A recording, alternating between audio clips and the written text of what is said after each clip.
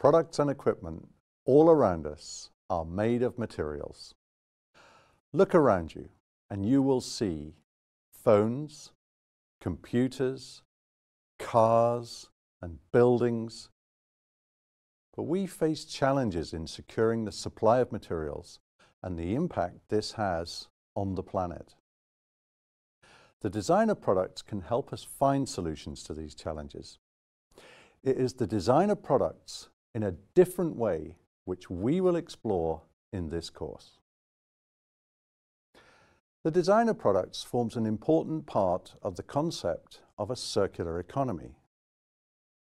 The circular economy approach aims to help in addressing material challenges by keeping materials in use for much longer.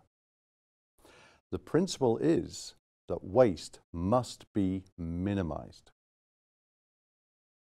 Products will be designed to last longer. They will be easier to reuse, repair, remanufacture. In the end, all the parts will be broken down and recycled. This is the design for R which we will explore. Experts from leading European universities and research organizations will take you through the latest strategies in product design. Current design approaches lead to waste, which also means loss of value and loss of resources. You will learn about the innovative ways in which companies are creating value while securing their supply chains and integrating Design for R.